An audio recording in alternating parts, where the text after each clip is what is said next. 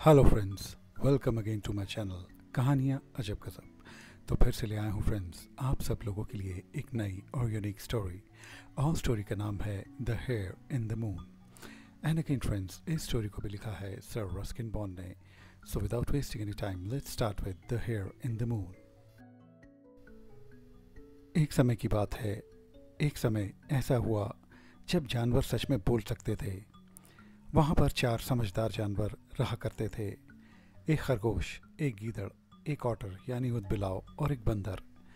वह चारों अच्छे दोस्त थे और हर शाम उनकी महफिल जमती और वह पूरे दिन की बातों के बारे में बातें करते। एक दूसरे की राय लेते और फिर एक सही निर्णय लेकर उस पर कार्य करते। मगर खरगोश इन सब में सबसे समझदार, अक्लमंद और धैर्य वाला था। वह मनुष्यों की अहमियत और उनकी समझदारी को बहुत मानता था।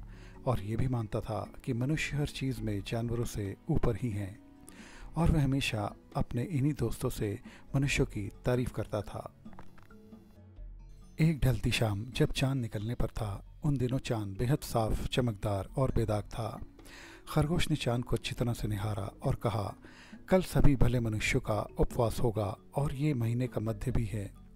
वह सूरज डूबने से पहले कुछ भी नहीं खाएँगे और दिन भर वह गरीब बेसहारा लोगों की मदद करेंगे, भिखारियों को भीख भी देंगे।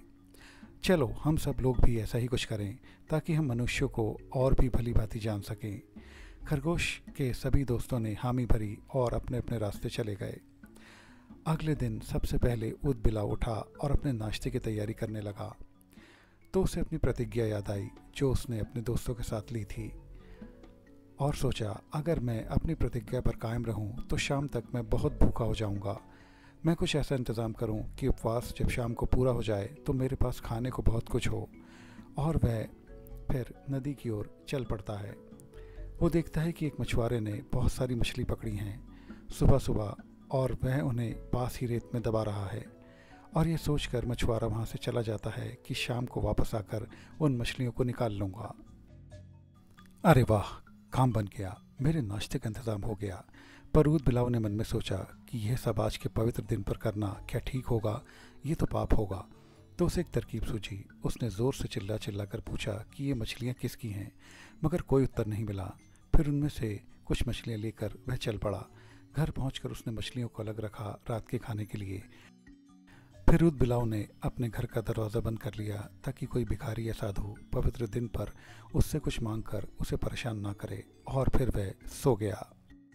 ऐसे ही बंदर और गीदड़ ने भी सोचा वह भी सुबह उठे और नाश्ता तलाश करने लगे, पर उनको अपनी की हुई प्रतिज्ञा याद आई और फिर उन्होंने सोचा, क्यों ना शाम के खाने का प्रबंध अभी कर लिया जाए।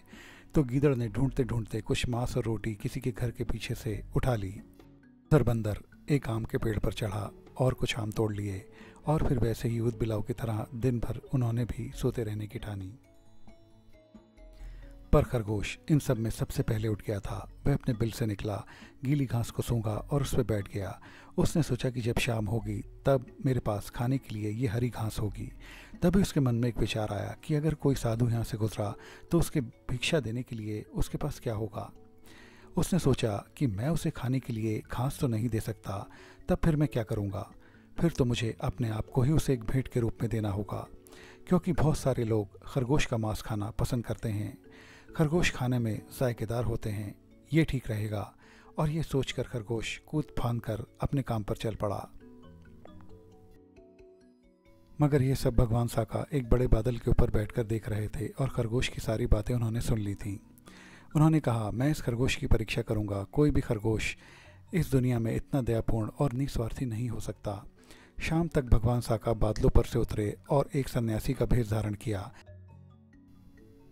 वह खरगोश के बिल के पास बैठ गए और जब खरगोश बिल से बाहर आया तो भगवान साका ने उसका अभिवादन करके कहा, नमस्कार छोटे खरगोश, कैसे हैं आप? क्या आप मुझे कुछ खाने को दे सकते हैं?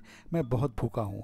मैंने पूरे दिन उपवास किया और अब खाने की तलाश में निकला हूँ। खरगोश को अपनी करी हुई प्रतिज्ञा याद आई और उसने सन्यासी से कहा, मुझे मालूम है कि मनुष्य को खरगोश का मांस खाना पसंद होता है। सही है, सन्यासी बोला। तो फिर इस तरह से तो मेरे पास आपको देने के लिए कुछ नहीं होगा तो आप मुझे ही क्यों ना अपना भोजन बनाकर ग्रहण कर लें? पर खरगोश जी, मैं एक सन्यासी हूँ और अपने खाने या अपने फ़ायदे के लिए किसी जीव जंतु को पवित्र दिन पर मार डालना मेरा काम नहीं है। मैं ऐसा कतई नहीं करूँगा। पवित्र दिन पर यह अमानवीय कार्य है।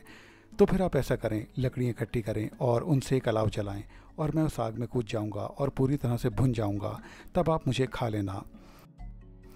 भगवान साका खरगोश की इन बातों पर बेहद अचंभित हुए, पर वह फिर भी इतने संतुष्ट नहीं थे, इसलिए उन्होंने तुरंत ही आग जला दी। आग को जलता देख खरगोश तुरंत ही उसमें कूद गया। खरगोश चिल्लाया, यह यह ये क्या हो रहा है? मैं आग में कूदा और मेरा एक बाल तक जला नहीं, और इसके उलट मुझे ठंड महसूस हो रही है। खरगोश ये बोला ही था कि आग खत्म हो गई, और वह साफ़ सुथरी हरी घास पर बैठा था, और उस सन्यासी की जगह वहाँ पर भगवान साका खड़े थे। मैं भगवान साका हूँ, छोटे खरगोश। मैंने तुम्हारी प्रतिज्ञा सुनी और तुम्हारी परीक्षा करने आया था। तुम उत्तीर्ण हुए, शाबाश। यह निस्वार्थ और अति दयालु स्वभाव एक ही चीज़ पाने का हकदार है, और वो है अमरता। ये बात पूरे विश्व में जानी जाएगी कि खरगोश ऐसा भी है जो बेहद दयालु और निस्वार्थ है। भगवान साका ने तब अपना हाथ आकाश की ओर किया। तब चाँद निकला ही था। उन्होंने चमकदार चाँद में खरगोश की आकृति बना दी। खरगोश को उसी हरी घास पर छोड़ा और कहा, अब छोटे खरगोश, हमेशा हमेशा के लिए तुम अब उस चाँद से संसार के लोगों को देखोगे और भगवान के उस पुराने वादे को याद दिलाओगे कि दूसरों को दो तो भगवान तुम्हें देगा। तो फ्रेंड्स ये थी कहानी the hare in the moon ये कहानी आपको कैसी लगी? प्लीज़ कमेंट करके ज़रूर बताएँ। मेरे चैनल को लाइक शेयर और सब्सक्राइब भी ज़रूर करें और बेल आइकन प्रेस करना भी ना भूलें। फ्रेंड्स अब आप महज सब्सक्राइबर्स नहीं फैमिली हैं तो देखते रहिए कहानियाँ अजब गजब स्टोरी सोयाबा तो मिलते हैं फ्रेंड्स आप सब लोगों से मेरे अगले इंटरेस्टिंग वीडियो में. तब तक के लिए बाय बाय